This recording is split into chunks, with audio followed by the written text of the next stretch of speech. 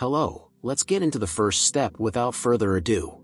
The first step is to download the .jar server from the official Minecraft website, link in description. Download the .jar server by clicking here. When the download is finished, we need to create a new folder and place the server file inside it. The next step is to create a new text file to write the command to start the server. Go back to the website and copy the server starting command and put it in the text file that we created. Save the file as start.bat. Now we edit the .bat file and change this file name to server.jar, because that's the name of our server in the same folder. We need to check how many gigabytes of RAM we have, do this by opening the Task Manager and clicking on the Performance tab.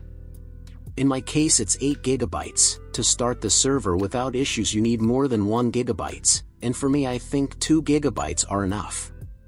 Change the maximum amount of RAM you want the server to use from here, you can write 2048 megabytes or simply write 2G.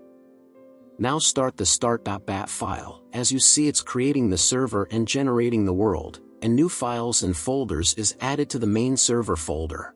When the CMD is closed we go and edit the EULA file.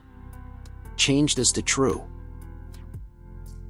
You can change the server properties by editing this file you can change things as the world difficulty and PvP and more. Here you can change the name of the server, I will simply name it Romy server. If you want the cracked version players to be able to join your server you need to search for this online mode property and change it to true. Now we need to allow the server through the firewall, search and open the Windows Defender firewall, click on Advanced Firewall Settings. Click on Inbound Rules, create new rule. Port, Write the same port as in the server properties file. TCP.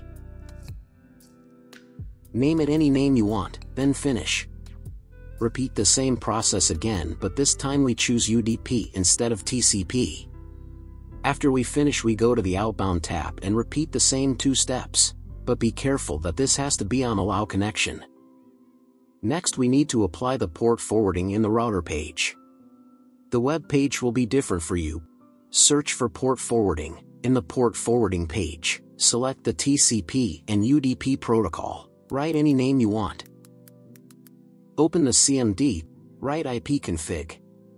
Look for your internet provider. Copy the IPv4 address. In the port forwarding page, in the LAN host IP and LAN host address enter the IPv4 address. In WAN port and LAN host port enter the port from the server properties file. Click on Apply. Now the port forwarding is done. Search for what is my IP address on Google to get your public IP. This IP will be used by your friends to join the server. Start the server from start.bat.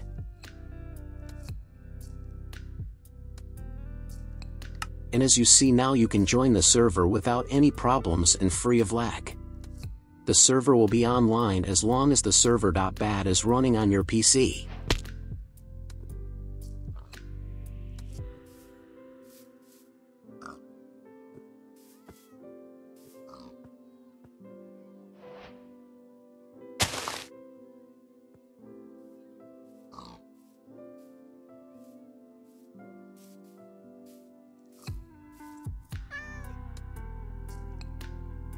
When you want to stop the server type save dash all in the commands to save everything, then write stop to shut down the server.